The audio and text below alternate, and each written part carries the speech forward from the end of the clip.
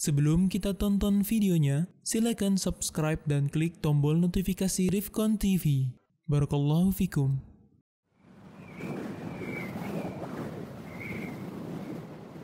menyuapi istri dapat pahala. Ya. Dan ini memerlu ini menunjukkan bahwa uh, menafkahi istri diperlukan niat. Ini perhatikan para kepala keluarga, para suami.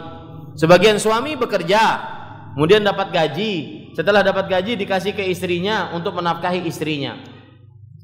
Ya, memberikannya sambil merangut-rangut. Nah, ambil bulanan tuh sana. Kenapa sambil merangut-rangut? Karena dia tidak meletakkan niat saat menafkahi istrinya. Al-Hafidh Ibnu Hajar Al-Asqalani rahimahullah mengingatkan kita bahwa ketika Rasulullah SAW bersabda, ya, innaka lan tunfiqu nafaqah tabtaghi biha wajh Allah illa ujirta 'alaiha.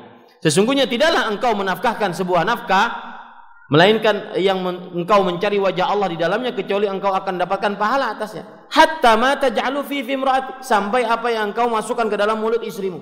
Jadi suami meskipun dia wajib menafkahi istrinya jangan lupa meletakkan niat saya ini sedang beribadah menafkahi istri saya berharap pahala atasnya sebagian suami pusang ketika menafkahi istrinya kenapa karena dia anggap itu hanya sebatas kewajiban dia tidak berharap pahala darinya. Coba dia berharap pahala darinya, dia akan tambah semangat ngasih kepada istri. Ah, minta apa lagi kamu?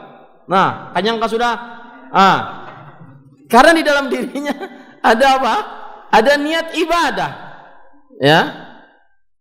Sumpah terus nah, hendak apa lagi? Ah. Ya. Karena di dalam niat dirinya ada niat ibadah. Ini kadang-kadang suami ya tidak meletakkan niat akhirnya ketika dia menafkahi istrinya dia pusang istrinya sakit dia marah garing terus gawian ke dokter larang tahu kada nah, ini salah kenapa karena dia tidak meletakkan meletakkan niat untuk menafkahi mengurus istri